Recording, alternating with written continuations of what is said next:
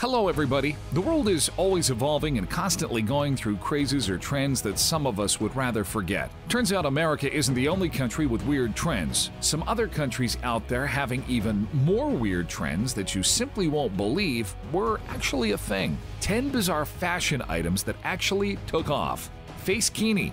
First, there was the bikini, then the monokini, and now the face kini. Chinese women looking to protect their delicate porcelain skin from the sun don face kinis in addition to full bodysuits while on the beach in Quindigo, on the beach in Qingdao.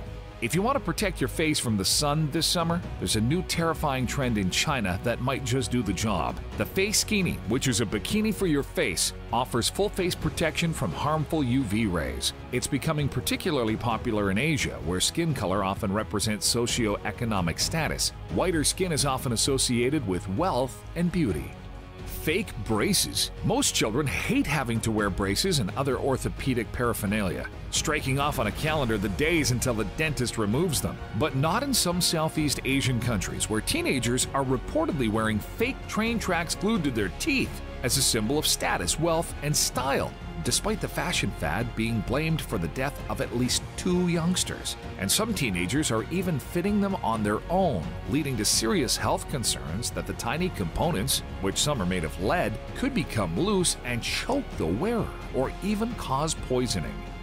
Pointy boots. We last saw them on court jesters in medieval England, but pointy toed boots, it seems, are making a major comeback in Mexico. Young men have developed an obsession with the bold footwear. With toes so long, they're curled up in a giant spiral. Cobblers in the farming town of Matula in northeastern Mexico described how a single mystery customer sparked the trend. Young men who couldn't afford a bespoke pair have been using garden hoses to make their own, decorating them with glittery butterflies, stars, flashing lights, and disco balls lensless glasses. The grass is always greener on the other side, to quote the cliche. Those who have glasses don't want them, and those who don't will wear them with no lenses.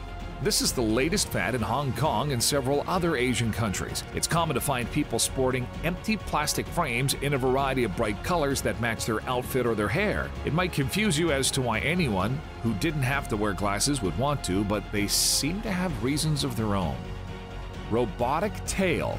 It's common for animals to wag their tails uncontrollably when they get excited, so wouldn't it be great if humans could do it? Oh wait, we don't have tails. Enter the Tailly, a robotic tail extension created by Shota Ishiwatari.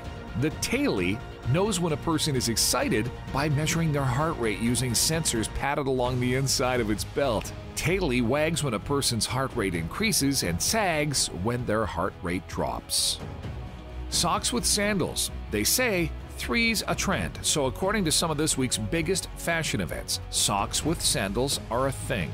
This particular sock and shoe combination is one that the fashion conservative tend to shy away from, but the comeback this year may have this trend infiltrating the masses based on fashion's elite having already set the trend in motion, from Kendall Jenner to Valentino to Princess Elizabeth von Thurn, from Kendall Jenner to Valentino to Princess Elizabeth von Thurn and Taxi. The socks with sandals style is touching fashionistas of varying status, and the trickle down effect is bound to ensure just as spring will turn to summer.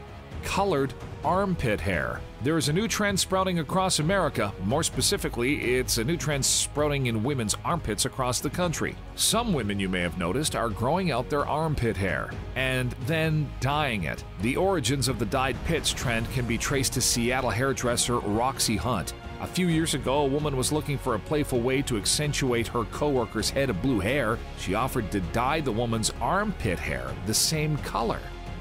Pollution masks. It's no secret that Beijing in China is really polluted.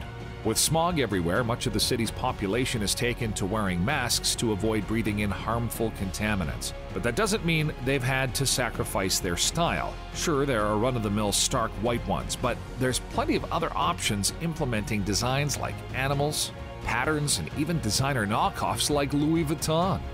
Yaeba teeth. The Japanese trend for crooked snaggle teeth is going from strength to strength. Yaeba, which translates literally as double tooth, is a dental procedure which sees the upper canines capped either permanently or temporarily, costing hundreds of dollars per tooth. It's a sense of beauty unique to the Japanese, but Yaeba can be an attractive feature on women in their teens and 20s. While the trend is certainly a departure from the Western ideal of ruler straight gnashers, concerns were expressed that the procedure demonstrates the sexualization of young girls. Ear pointing. Ear pointing or ear shaping is a practice in which the ear is modified to look like pointy ears that we've seen on fictional characters like Legolas, Link from The Legend of Zelda, and Spock. So, in essence, they're pretty popular among hardcore fans of Lord of the Rings and Star Trek.